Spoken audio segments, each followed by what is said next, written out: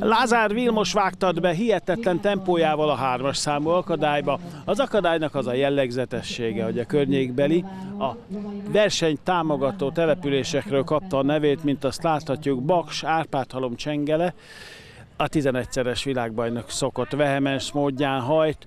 Látszik az, amikor ő van az akadályok között, sokkal folyamatosabb és sokkal intenzívebb a mozgása, mint a többi hajtóé. Éppen most tekeredtek el előttünk, úgy tűnik, hogy az Iran megtörése nélkül tudja teljesíteni Vilmos ezt az akadályt is. Ő kettes fogathajtóknál indult, és az első nap után már akkora előnyt gyűjtött össze, több mint 10 pontot, közel 10 pontot, de amivel szinte a végső győzelme is garantált, hatalmas tempóban elhagyja az akadályt, bravúros teljesítmény volt.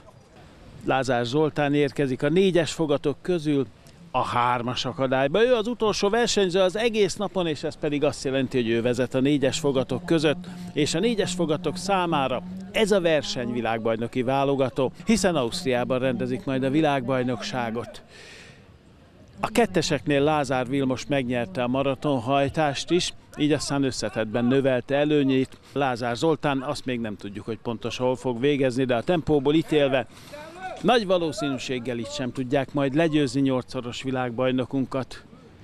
Igazi magyar száma maratonhajtás, sokszor a Nemzetközi Szövetség vezetői úgy is alakítgatták ennek a számnak a szabályait, hogy az a magyarok számára ne legyen kedvező, hogy ezzel is szorosabbá tegyék a, nemzet, tegyék a nemzetközi versenyeket, világversenyeket. Lázár Zoli biztatja a lovait, de aztán szinte tökéletes ívben siklik át az összes akadály között, hatalmas tempóban, eddig talán ő volt a leggyorsabb. Lázár Zoltán